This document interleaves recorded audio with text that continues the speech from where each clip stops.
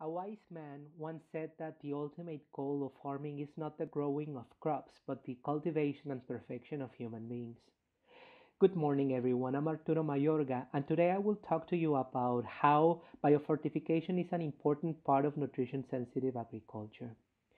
Let me start by telling you that undernutrition, understood as an insufficient intake of energy and nutrients, affects almost 40% of the global population. There are 2 billion people that suffer from micronutrient deficiencies, also known as hidden hunger. And since agriculture is the main occupation of 80% of rural populations, it has been suggested as a solution to undernutrition. In the past, agriculture was focused on producing calorically dense staple crops, such as wheat, corn, and rice, rather than on the production of vegetables, pulses, and animal products that offer high contents of micronutrients such as vitamins, minerals, and essential amino acids. Over the last decade, however, efforts to design agriculture to make it more nutritious has become a priority. Now we have nutrition sensitive agriculture. An NSA refers to an approach that seeks to produce in a sustainable manner a variety of affordable, nutritious, culturally appropriate, and safe foods in sufficient quantity to meet the dietary requirements of populations.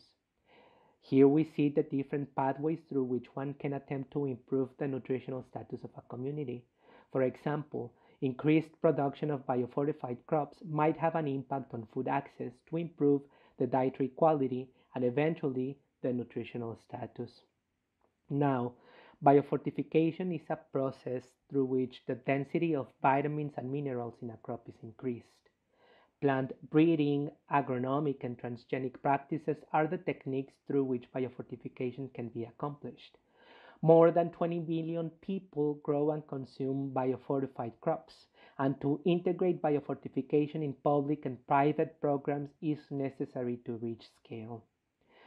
Uh, it has been reported that low and middle income settings lead to different forms of malnutrition. Therefore, as we see in this map, biofortified crops have been released or are being tested mostly in low and middle income countries. Iodine deficiencies can lead to thyroid enlargement and goiter, and Cakmak and others prove that foliar fertilization of wheat might be adequate to tackle iodine deficiencies in populations that have an intake of wheat based foods that goes from moderate to high. Another example is a study conducted in Rwanda in which it was shown that the consumption of beans biofortified with iron improved the iron status in women after 128 days. Another undernutrition problem is the vitamin A deficiency, which affects 30% of children under 5 years of age in the world and an intervention in which orange sweet potato was biofortified with beta carotene reached 24,000 households in Uganda and Mozambique. And intakes of sweet potato were associated with improved vitamin A status among women and children. So, consumption of biofortified crops is helpful to increase dietary micronutrient adequacy by replacing a micronutrient poor staple with its micronutrient rich counterpart. However, the production of biofortified crops alone does not guarantee improvements in the nutritional status. We see here that by increasing biofortified crops, we only have an impact on food access. But what happens if we combine biofortification with other types of intervention? For instance, if we design a program of nutrition education and behavior change communication, we can have an impact on care practices too, an impact on both food access and care practices have better chances to improve diet and eventually nutritional status. To conclude, agriculture has relied heavily on the production of staple crops that led to deficiencies of certain micronutrients in populations.